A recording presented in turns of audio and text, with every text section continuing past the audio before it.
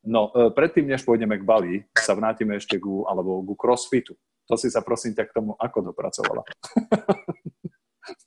No a to, to souvisí, to bude takový jako mezník mezi mezník? Bali a rádiem možná. Uh, tak začnu... vyprávěj a přeháněj. Hezčí čas.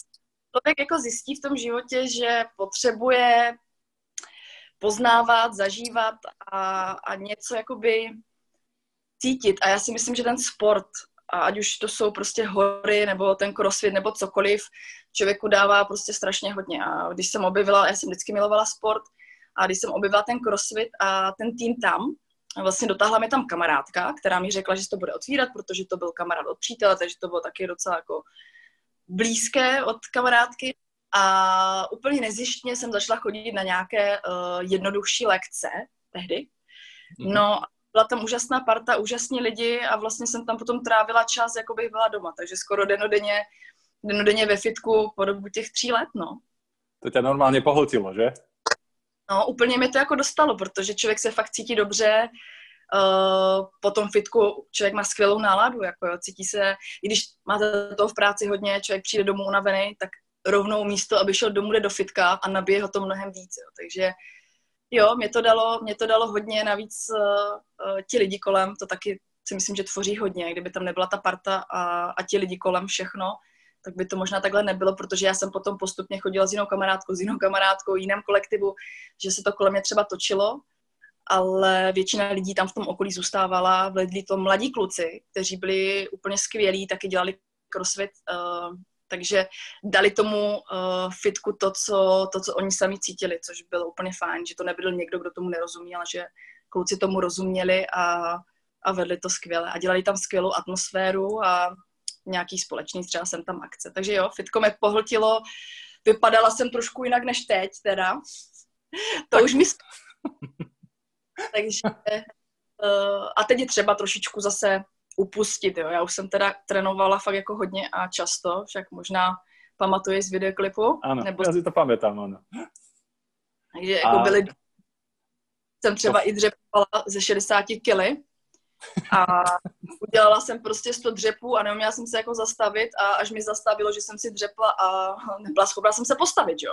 A teď tam bylo plno lidí a říkám, Mara, pomožte mi, nikdo se nezvednu, jo. No tam jsou tam jak to zhodit. Ale já jsem neměla nějakou stopku už potom, no. Že už jsem cvičila, cvičila a už mě nic nezastavilo. A to fitko ještě existuje, ten crossfit? Alebo ten klub, kde jsi chodila?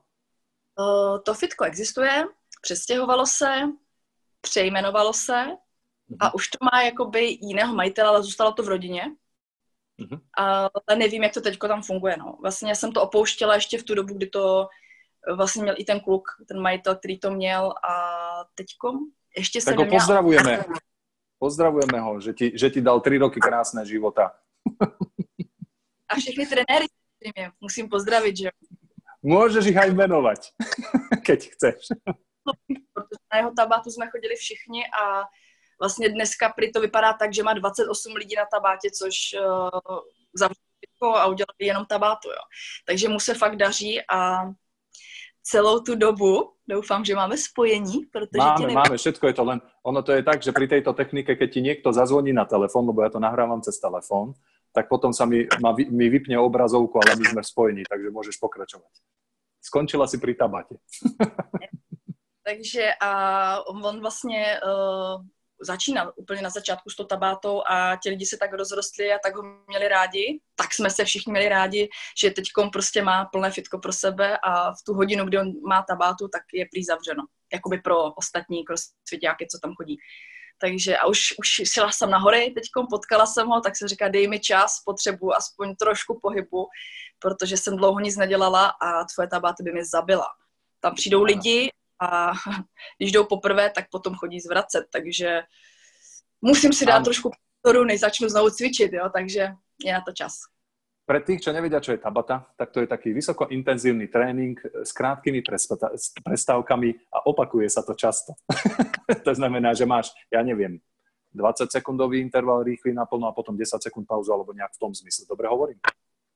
Ano, přesně tak, je to 20 vteřin cvik, 10 vteřin pauza. S tím, že v tom crossfitu teda cvičíme s vlastní váhou, jo? že tam nemáme nějaké prostě mm, přídavné nějaké věci. Samozřejmě je tam nějaká bedna, je tam nějaký kettlebell, kettlebell. Jež teď mi to úplně vypadlo, dívej se, dva roky nic nedělám. jo, takže je to o tom nějaké zhyby třeba, jo, a těžké věci, protože jdeš na čas a ty vlastně v těch 20 vteřinách máš ze sebe vypotit úplně všechno. To znamená, že to nemáš jet pomalu, ale máš to jet úplně v té největší síle, kterou máš, jo. A hmm. Doporučuji vyzkoušet, jako. Doporučuji vyzkoušet. Je to strašně fajn, teraz, ale... Ty si teraz povedala, že v crossfite cvičíš vlastným tělom, ale myslím, že si myslela tabate, v tabate, že cvičíš vlastním tělem, že?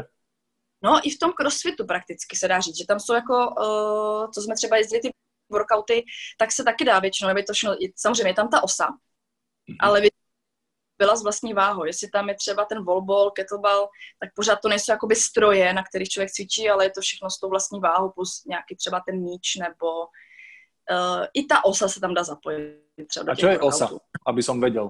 Ja neviem, čo je osa. Ja, keď si povieš osa, tak ja si predstavím oné, to, čo lietá a pichá. pro ty, co by jako nevěděli, osa je taková ta to myslím, oni by to nazvali určitě jinak. Tyčka, na které jsou vlastně kotouče s různou váhou. Podle toho, kdo prostě jak má sílu, tak si tam dá váhu s kotoučem. Že? Áno, či, a to je prostě po slovensky je to činka a to je tyč, hej, po, po slovensky. Velká tyč a velké, nejde to vidět na tom záběru. Kotúče, kotúče. Přesně tak, jo. Takže a s tým, sa, s tým sa robia potom aj drepy, ktorých si ty robila toľko veľa, koľko si robila, so 60 kilami. Tak, no, přesně tak, jako jo. Ale vieš, toto cvičenie si sa nejak rozhovorila o tom, ale ono to možno bolo dobré, lebo však keď máš také sedavé povolanie, že obchodná riaditeľka a sedíš v aute alebo v kancelárii a tu a tam vybehneš a beháš, ale nie je celkom to isté, ako potom, potom človeku ten šport chýba. Takže možno preto ťa to aj tak pohltilo na tie tři roky od toho roku 2016. Určitě, určitě. No, a teraz si pokne povedal, že je potřeba a zasekla si sa. Co je potřeba? Pořádně trénovat a hýbat se hlavně, protože ta, to sezení v autě je jako hodně náročné, když možná člověku se to nezdá, ale když jezdíte od rána do večera někde a já ještě vlastně jsem byla ve Frýdku, do toho jsem měla kancelář v Ostravě, ale jezdila jsem ten Valmes Olomouc Zlín, takže jsem byla jako denně eh, dvě hodiny na cestě, třeba tam a dvě hodiny zpátky, záleží, jaká byla doprava.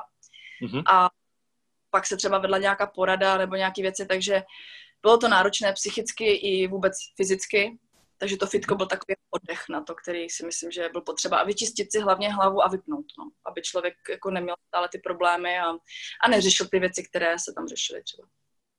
A fitko bolo teda, prečo prepojenie nejaké medzi tým českým svetom a tým Bali? Si vravila, že to je nějaké také pojítko.